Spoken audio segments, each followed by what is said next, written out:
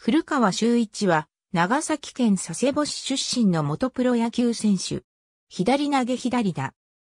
清志本高校時代は、エースとして2005年の第87回全国高校野球選手権大会に出場し、1回戦で、戸亀県、柴田良介、どの上直道要する春の選抜覇者、愛工大名電を下し、2回戦も、福井優也要する前年度選手権準優勝校、細尾を下し旋風を巻き起こし3回戦に進出するも、辻内高成、平田良介、中田翔要する優勝候補筆頭の大阪桐蔭に1の4で敗れる。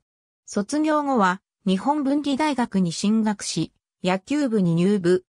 大学でも活躍し、2008年の第57回全日本大学野球選手権大会、2009年の第58回全日本大学野球選手権大会への出場に導いた。2009年のドラフト会議でオリックスバファローズに1巡目で指名。契約金1億円プラスで木高払い5000万円、年俸1500万円という条件で入団した。背番号は14。2010年にはオープン戦中の怪我で公式戦の開幕に出遅れた。しかし5月30日に初めての一軍昇格を果たしてからはシーズン終了までほぼ一軍に帯同。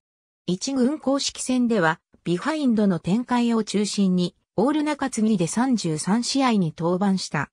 また、7月22日には故郷の長崎県営野球場で催されたフレッシュオールスターゲームにウエスタンリーグ選抜の一員として登板。1回を投げて3者連続三振を記録するとともに優秀選手賞を受賞した。2011年にはシーズン中盤に1軍へ昇格。1軍公式戦では登板数こそ前年より少ない12試合にとどまったが、防御率1.69という好成績を収めた。なお、1軍、2軍とも公式戦にはすべて中継ぎで登板した。シーズン終盤から参加したフェニックスリーグでは先発も務めた。2012年には1軍公式戦10試合に登板。しかし、7試合で失点を喫したほか、被打率415、ホイップ2.21という成績に終わった。8月21日の対北海道、日本ハムファイターズ戦では、先発の木佐抜音が5回裏に6点を失ったことを受けて、この回の途中から登板。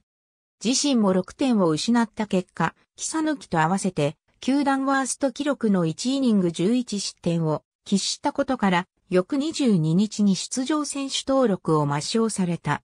なお、ウエスタンリーグ公式戦には先発でも登板。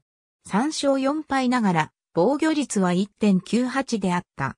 2013年には、1軍公式戦3試合に登板。